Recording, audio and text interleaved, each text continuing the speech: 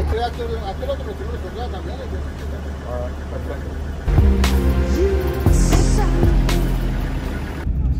All right, today we have a big day on the farm. Uh, we're gonna be planting uh, cayenne chili peppers. We're gonna be transplanting onions today. We'll be doing some red onions, Hey guys, that's me, Lou. I'm the wife.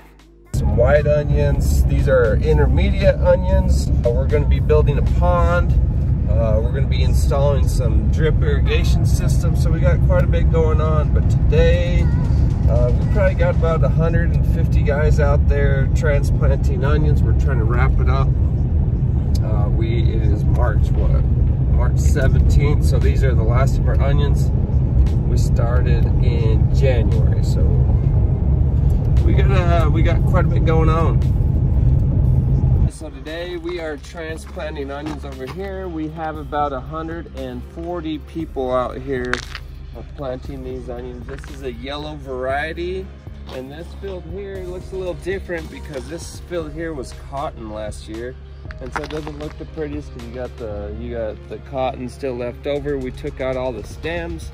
Uh, the, the dirt's nice and soft so we can still get in and, and plant this. But uh, so this is what it's looking like. Normally we plant onions after chili peppers, but this year, just for a rotation, we had to put some of them after cotton. Not all of them, just about 10% of our onions.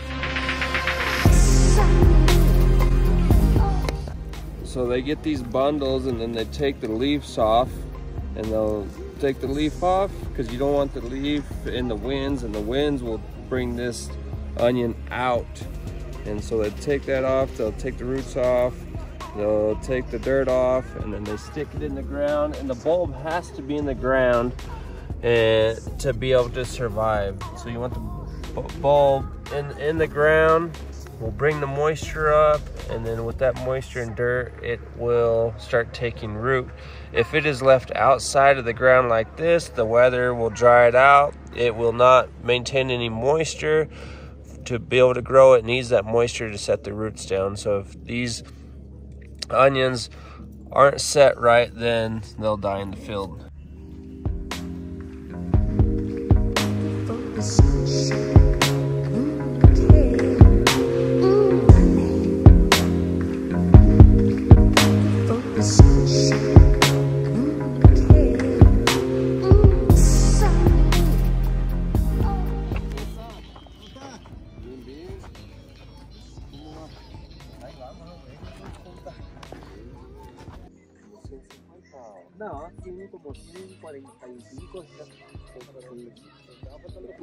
Viejo, ya, ya.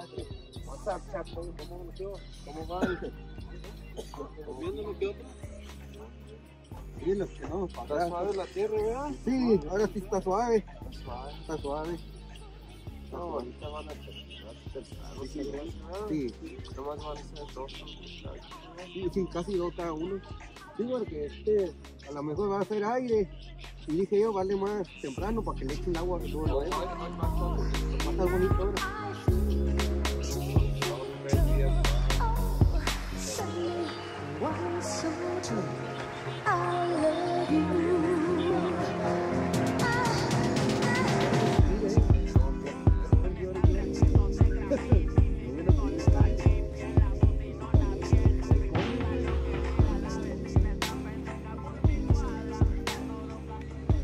Sé si Luis este se fue el pueblo, es que necesitamos muy allí. Ahorita vienen de volada, de volada. And we do four inch spacing because that's the size we we want a three three and a half inch onion to a four and a half inch onion. And so we'll space them out four inches. And so we put about a hundred, I'd say a hundred thousand, four hundred thousand 400,000 onions per hectare is what we're putting down on the four inch spacing. And we have guys check making sure that they're at four inch spacing because if it's off an inch if it goes off one inch that's a hundred thousand less per hectare onion population. And so we're trying to hit that 400,000 uh, per hectare population and get the size right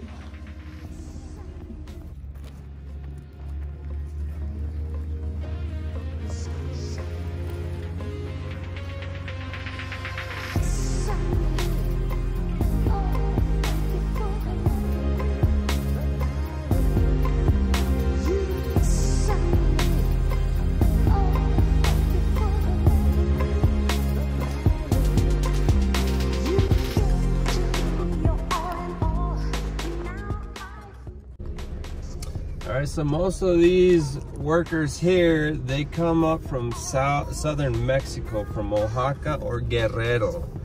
And a few of these families have been here for the past 25 years. What was your TikTok video on today? Ranger diesels. Thing that Mexico does do right, they do the Ranger right. Let me tell you why. Wait, that sounds like a diesel. That's a dang diesel.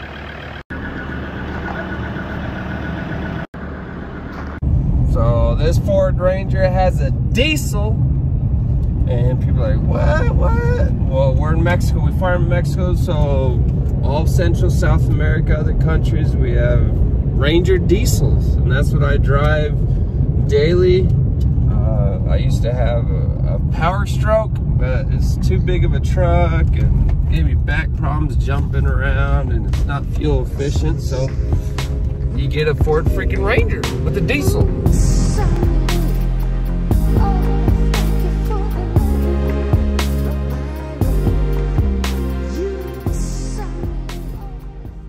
Those are early onions. We planted those in January. They're looking good. So they've been in for about a month.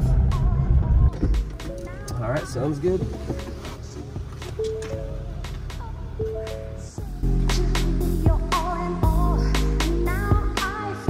These are some of the first onions that we transplanted.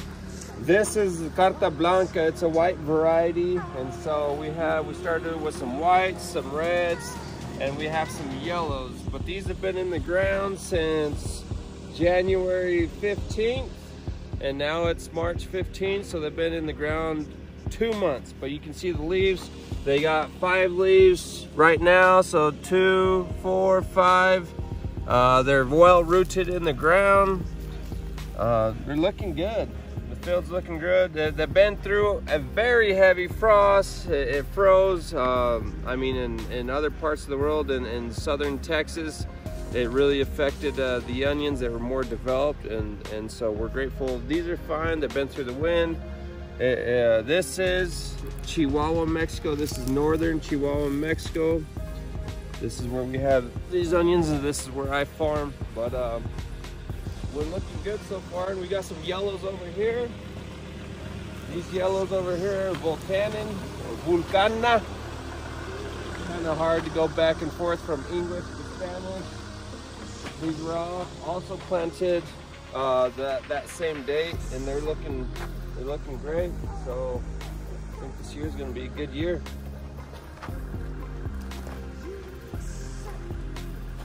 Check the moisture. This field, we need to bring up the moisture a little bit.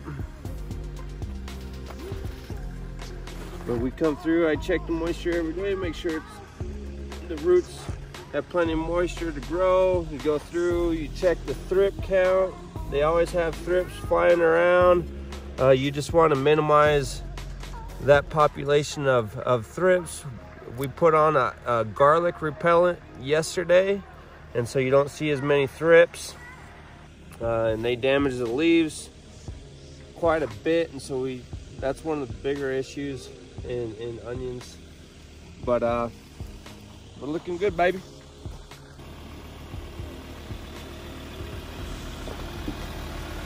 All right what we're doing right here is we're marking for the onion transplanting. So this is all four inch spacing in this four line here we have uh, a GPS guided tractor system. So this is GPS guided. This is the.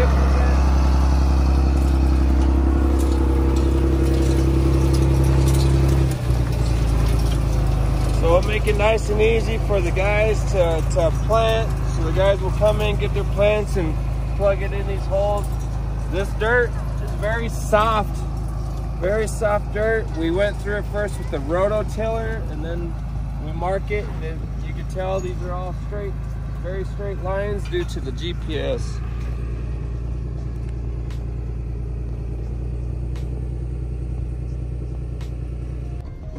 And so these we planted 10 days ago. You can see the leaves aren't up as, as high. They're just grabbing root right now. They probably shot down probably three to four roots, about three to four inches deep, and so they're not as developed. And then these over here, These have been in the ground for about a month and they're well established, looking pretty, looking pretty. Oye, Jorge, hay, hay, que, hay que arreglar las fugas que está en lo que plantamos el lunes, porque ahí está juntando mucho la, el agua y esas cebollas van a morir.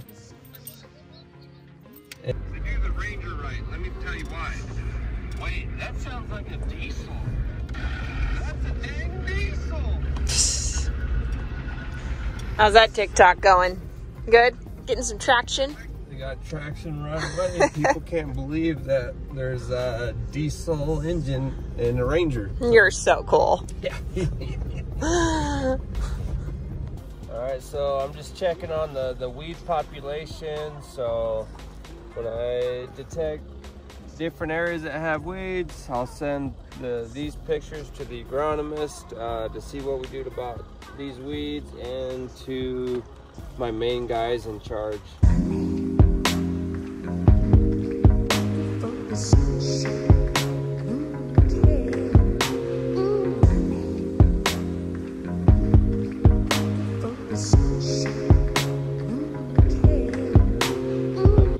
el B3 para ver si ya aplicaron para la hierba. Ah, ah, ah, así es como se ve. Para ver si, si ya lo aplicaron en esas. So one of the cool things with technology now, I just have a WhatsApp group, so I just take pictures of whatever issues we have in the field, send it on our group chat in the farm, so everyone is aware of what the issues are. So I'll go through every morning, uh, I'll see where there's leaks in the drip system, I'll see where there's weeds or where it needs to be cultivated. Put on the group chat, and then so the all the guys in charge on the farm, they can see the message and jump right on it. And so it's it's made farming a lot well communication's key. And so it's made things a lot more efficient.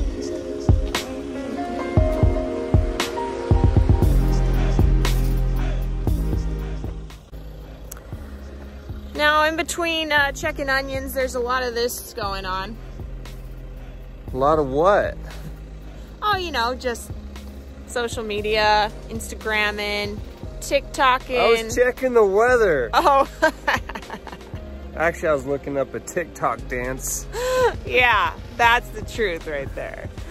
What's the TikTok dance today? I don't know. There's no good one. Well, I just need to find a good one. Okay, let's find one. That's next on the to-do list. Posting another TikTok, huh? One more and then I'll be done. One more TikTok for the day. Hell yeah. This guy's the TikTok master. No way. You're like super famous on there nowadays. Not really at all. What do you like about TikTok? It's just fun. And they're short videos for my attention span. Oh yeah. oh, looks looks great, babe. Looks great. Yeah, that's gonna get a lot of likes. Never know. Dancing with some onions, you know. It's part of our day. Cebollas. What's that mean? Onions. Oh, let's see how he. Let's see all his TikTok tricks. That's it. Okay, Posted. Nothing fancy at all.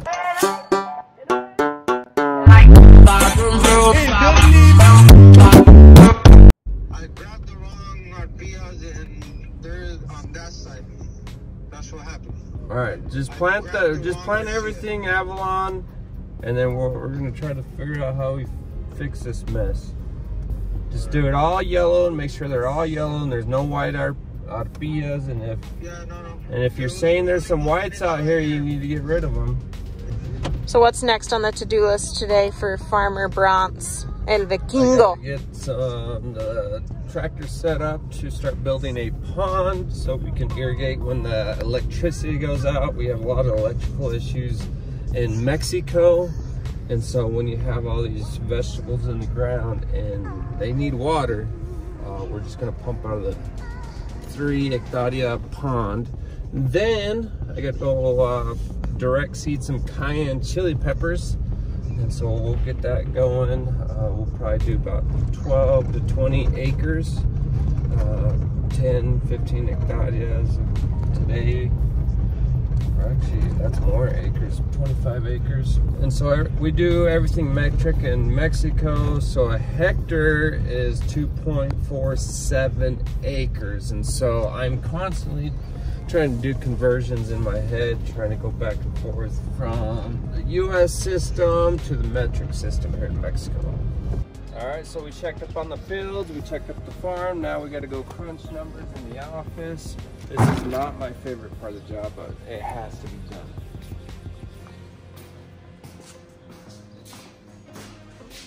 You want to meet my cacti?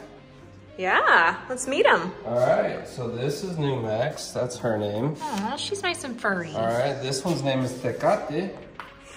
All right, and this is Coca. I wonder why. Is that a Coca-Cola can? She looks like a Coca. Aw. And then over here we have Modelo. Aw. And then we got Jane because she's playing. Oh, okay. I like Jane. And Jane, then- you ain't playing, girl. And then we got Indio. There we go. Those are my cacti. And they gotta get crunching numbers. So Going on that. I'll get to thinking. See you next time. Bye.